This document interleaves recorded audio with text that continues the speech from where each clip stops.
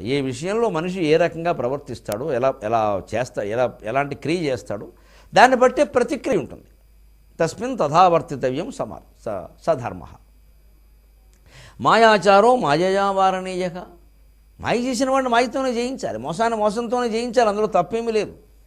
మోసాన్ని నిజాయితీగా జయించడం సాధ్యమైతే పర్వాలేదు. సాధ్యం కానప్పుడు మోసానికి ప్రతి మోసం చేసి జయించడం తప్పేమీ కాదు. వారు మోసం చేసినా సరే మనం చేయొద్దు ఈ ఇది అమాయకత్వం చేతగానతనం కూడా చేతకానతనాన్ని అలా సమర్థించుకోవద్దు.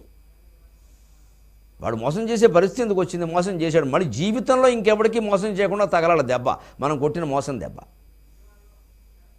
లేకపోతే మనుషులు ఎలా ఆలోచిస్తారంటే మేము మోసం చేస్తాం. మీరు ధర్మాత్మలు కదా. మీరు ధర్మంగా ఉండొచ్చు కదా. ఏ మీరు కూడా ధర్మంగా ఉండొచ్చుగా? ఉండరండి. జీవితాంతం మోసాలు చేస్తూ వాళ్ళు ప్రయోజనాలు వాళ్ళు పొందుతూ ఉంటారు. మనం ఎప్పుడు ధర్మాత్ములుగానే ఒక డిగ్రీ పెట్టుకోవడం కోసం మనం ఇక్కడ కూర్చోవాలి ఇలా ధర్మాత్మల పట్లే ధర్మాత్ములుగా ఉండాలి. మోసం చేసేవాడిని మోసం చేయాలి.